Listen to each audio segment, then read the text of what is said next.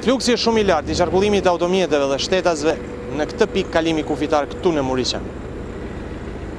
Vetëm gjatë 48 orëve të fundit janë përpunuar rreth 20.000 dokumente, pjesa më e madhe shtetasve të huaj, të cilët hyjnë edhe dalin nga vendi ynë.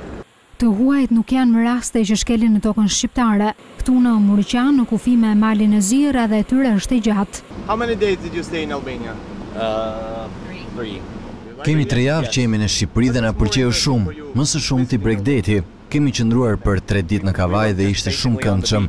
Kemi tetë javë pushime dhe shëtitja me rulotë shumë interesante, pasi gjatë kësaj periudhe kemi ecur nëpër gjithë Europën.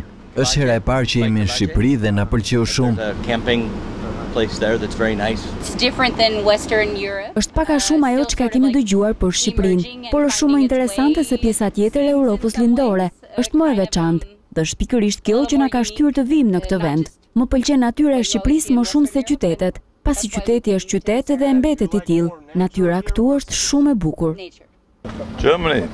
It's your first time? Jam nga Gjermania dhe është shumë këndshëm të jesh në Shqipëri. Shërbimi më pëlqen shumë.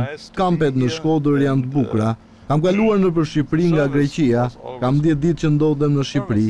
Më pëlqen Butrinti, jam interesuar për vendet antike dhe këtu pashë se ka shumë. Shkodra më pëlqen shumë, kam qëndruar pesë ditë, kam parë liqenin dhe më pëlqen shumë. Pasi jam që nga fillimi i korrikut në udhëtim dhe jam lodhur paksa, kështu që zgjodha liqenin e Shkodrës për më shumë relaks. Kemi tre javë që jemi në Shqipëri me rulotë dhe është hera e parë që jemi këtu.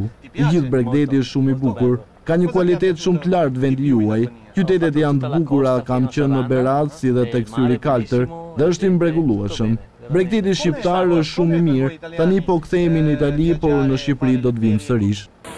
Gjatë dyzet e tetë orëve të fundit në pikën e kalimit kufitar të Muriqanit janë regjistruar në hyrje dhjetë mijë persona me afro katër mijë automjete. Numri më i madh i atyre që hynë në Shqipëri ishin shtetas të huaj, por dhe emigrantë.